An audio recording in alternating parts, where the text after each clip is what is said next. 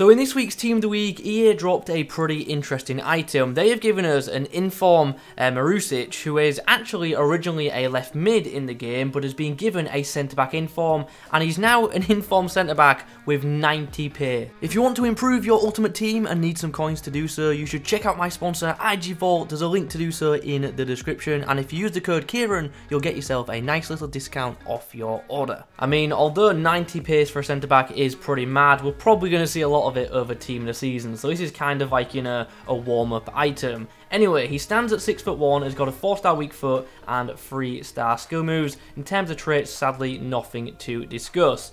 Now, um, obviously the main selling point of this card ultimately is the pace. The rest of his stats are pretty average. He's got some nice physicals, some okay defending, and some decent dribbling for a centre-back. But um, other than that, as I said, there really isn't too much to discuss. I just want to try him out because he's a 90 pace centre-back, and I just want to see how well he performs in game. So that's ultimately what we're going to do today.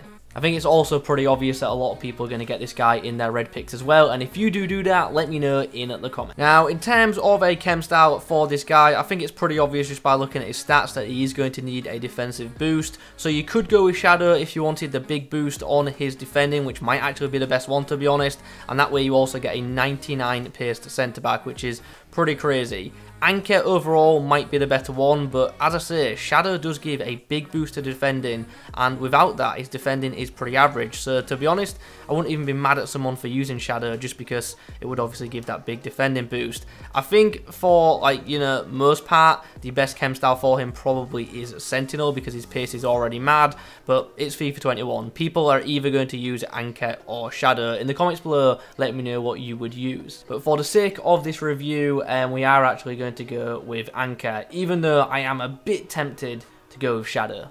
Let's go then. In game number one, we are going to have Podolski and FUT Birthday are running at us. He's also got FUT Birthday Ozil as well. So um, pretty nice squad. And I like some of his links that he's used as well. You don't normally see too many teams like this. So um, yeah, kind of refreshing. But hopefully we can take full advantage of that left back and uh, hopefully expose him down the right edge. Nice block there from the centre back, making his first move since coming into the club.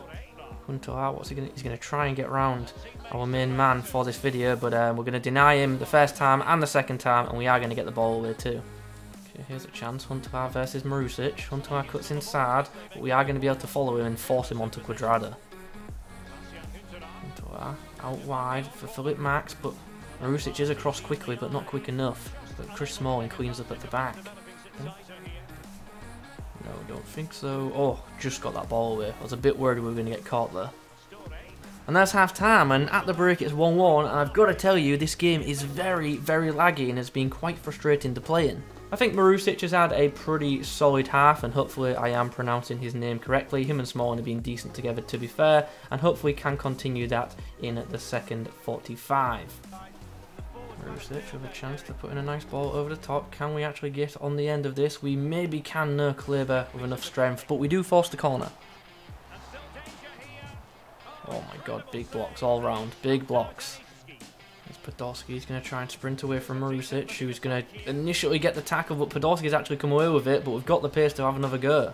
It's still so laggy. This is what I've had to deal with like a lot of the game. It's really annoying. I haven't experienced lag like this in ages. I tried to do a skill move there and it just didn't get inputted. Well, that's game over and I think my opponent might have one of the worst connections I've played against all year long. Nonetheless, despite not keeping a clean sheet, I thought my centre-back pairing wasn't too bad. We go again, and we are up against this. It's um, it's a nice squad, but he's got a couple of players off chemistry, which hopefully, you know, we can do something with. But um, all in all, it's actually a really nice side, and we're going to have Ronaldo running at it.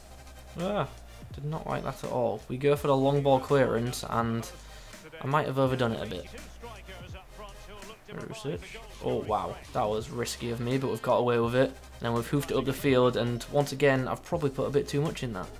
I do have to say though, it's nice to be playing on a connection which isn't powered by a hamster on a wheel, because the connection in this game is perfect. I don't know why it wasn't like this in the last one, it must have been my opponent's internet. He has put the ball through to Ronaldo as well. He's going to cut back, it's just a matter of when. We do get the initial block, but uh, we also get a bit fortunate there as well. Interesting. That was really strange, but we came away with the ball thanks to... Wow. Oh wow, it's just gone right into the path of Rooney. What a save that is from Donnarumma. Well, that has certainly been an interesting first 45. We were 2-0 down for about 90% of it, and then just before half-time we did score twice, so uh, we're back in it. I will say though, my opponent is pretty good at the game, and uh, he's got a very sweaty team, and I hate playing up against that freezing armour. But uh, as you can see, we have been up against it, and uh, my opponent just plays really good through balls in behind, and it really has exposed the defence a little bit. But um, yeah, all I've got to say is credit to the opposition, I guess. Oh, we've got ourselves a penalty. What a turnaround this game's ended up to be. I've got to tell you right now, I'm not confident in this penalty at all, but we are going to do our usual dink down the middle, and uh, I just knew he was going to read it, which is unfortunate, but it is what it is.